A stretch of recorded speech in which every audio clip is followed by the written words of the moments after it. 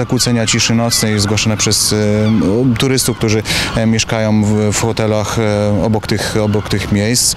Spożywanie alkoholu nagminne, głośne odtwarzanie muzyki przez przenośne głośniki. Dochodziło też tam do przestępstw takich jak kradzieże, pobicia, czy też posiadanie środków odurzających. I dlatego policja, którą Urząd Miasta poprosił o opinię w sprawie miejsc legalnego spożywania alkoholu na schodkach przy Molo i fragmencie bulwaru Słukowskiego, po przeanalizowaniu sprawy pod kątem zapewnienia bezpieczeństwa i porządku publicznego, jest na nie i opinia jest negatywna. My jako policjanci odnotowujemy liczne interwencje właśnie z osobami, które są nietrzeźwe. To nietrzeźwe osoby e, niejednokrotnie były karane mandatami. E, nie skutkowało to. Ponownie e, powtarzaliśmy interwencje, musieliśmy kierować wnioski do sądu. Jak wiemy, osoba nietrzeźwa no, niezbyt mm, e, chce się stosować do, do zaleceń ciszy nocnej. Urząd Miasta poprosił o opinię w związku z interpelacją złożoną przez radnego Dariusza Zawadzkiego, który przypomniał zapomniany projekt o wyznaczeniu miejsc legalnego spożywania alkoholu pod chmurką.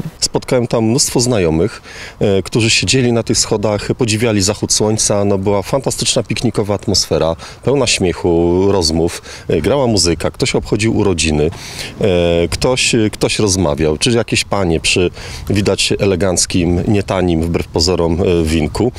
Ktoś delektował się szampanem, ktoś jakimś piwem. Radny wskazał, że są samorządy, które takie miejsca wyznaczyły, że można je odpowiednio przygotować, napisać regulamin, zapewnić kosze na śmieci i toalety. Zakaz spożywania alkoholu obejmuje miejsca publiczne i takim, jest, e, takim są schody mm, tutaj przy Molo i każda z osób, które no, tam spożywa alkohol popełnia wykroczenie. Przepis przepisem oczywiście, też jestem przeciwnikiem łamania prawa, to żeby była jasność, natomiast życie życiem, no. Jest lato, są wakacje, przyjeżdża pełno turystów.